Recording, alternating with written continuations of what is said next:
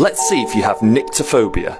I'm going to show you five photos. Try your best to make it through all five. Let's start the test.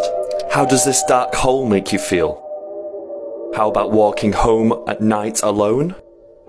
Walking down this hallway with no flashlight? Looking out of the window and seeing this? Or looking out at night to see this figure? So how did you do? Did you make it through all five? If not, then you could have nyctophobia, which is the fear of the night or darkness. Let me know if you have nyctophobia in the comments below. And remember to hit the plus sign and follow me to see if you can make it through the next phobia test.